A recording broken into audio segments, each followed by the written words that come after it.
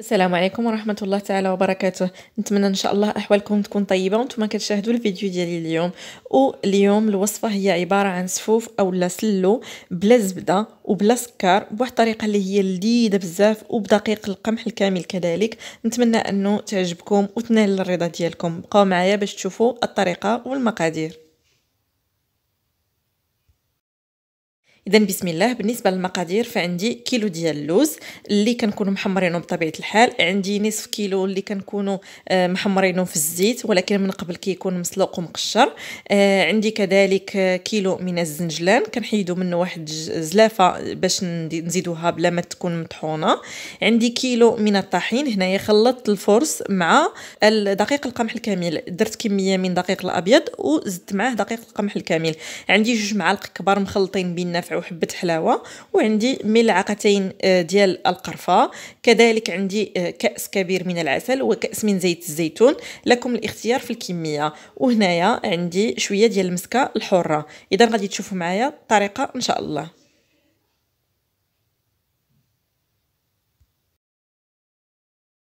بالنسبة للطريقة أنا غادي نحمر كلشي في الفران فهنايا عندي نص كيلو من الدقيق الفرص أو الدقيق الأبيض معاه نصف كيلو من دقيق القمح الكامل.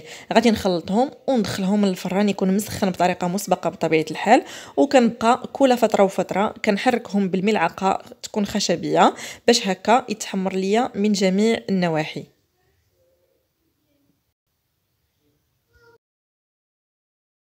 وبالنسبة للوز فبطبيعة الحال آه، ما كنسلقوهش. يعني كيكون اللوز ني كناخذوه كنمسحوه بشي فوطة فيها شوية ديال الماء باش هكا يكون نقي. لربما تكون فيه الغبرة ولا شي حاجة. ومن بعد كندخلوه للفران يتحمر ما نغفلوش عليه. يعني كنبقاو نحمروه حتى كنحصلوا من الداخل على هذا اللون هذا فهو ذهبي. إذا ما كياخذش معنا الوقت بزاف. وكذلك بالنسبة للزنجلان فنفس الشيء كنحمروه في الفران ودائما بالنسبة للزنجلان والدقيق فمرة مرة كنخرجوهم وكنحركوهم وكنردوهم باش ما يعني باش ما يتحرقوش لينا من الجهة العلوية. وبالنسبة للوز اللي بغيناه هكاك يعني يكون مهرمش فكنقليه في الزيت من بعد ما كنكون بطبيعة الحال سلقته وفسخته كيتقلى في الزيت اللي أكيد خصها تكون زيت باردة باش تقلى لينا مزيان. وهنايا من بعد ما حمرنا كلشي غادي نبداو بالطحين. اذا غادي نطحنوا الزنجلان وغادي نوريكم كيفاش غادي يكون الطحين ديال الزنجلان وديال اللوز معا إن شاء الله. إذا بالنسبة للطحن فالزنجلان نصف كيلو منه كنطحنوه بهذه الطريقة هذا. كيكون بودر منيل ولكن ما كيكونش معلك بزاف. يعني كنخليوه باقي بودر شوية. إذا حبيتوا أن آه، السلو ديالكم كله يكون معلك بزاف ويكون يعني آه، ثقيل ومعلك فممكن أنكم تطحنوا كل شيء مزيان بحال آملو.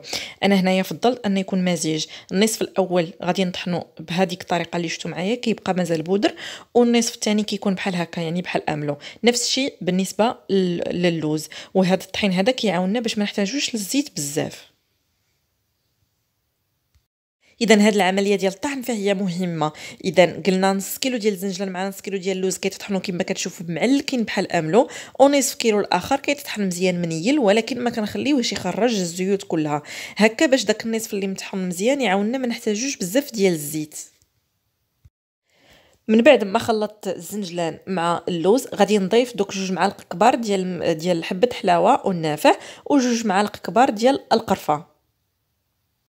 من بعد غادي نضيف نصف كيلو من الطحين وغادي نخلط كل شيء الطحين كنضيفوه تدريجيا باش ما يجيناش صعيب أننا هكا نفتلوه بين يدينا.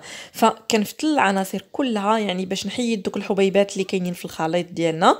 ومن بعد غادي نزيد كمية أخرى من الطحين. كما كتشوفوا يعني باقي آه، محتاج الطحين.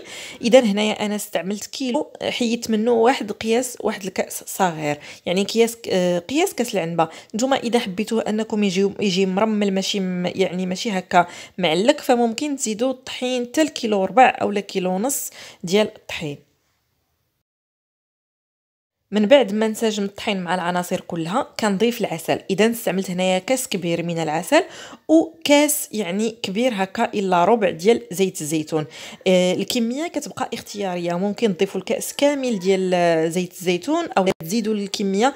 تيقوني ما كيبانش يعني المذاق ديال زيت الزيتون تماما ولا الريحة ديالو كيكون القوام غالب عليه بزاف.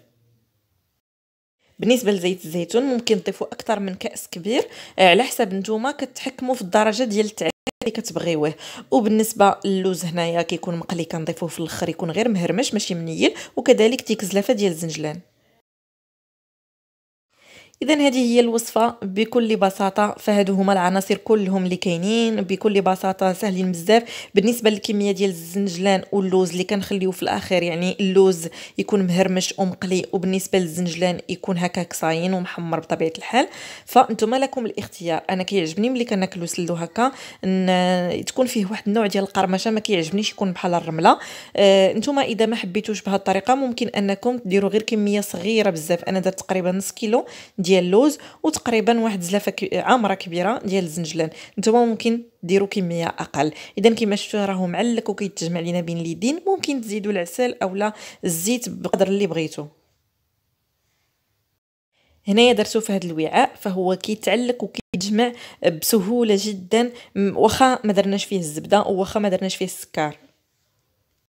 وفي الأخير هذا هو سلو أولا سفوف ديالنا اللي كيكون صحي أكثر وتيكون لذيذ بطبيعة الحال.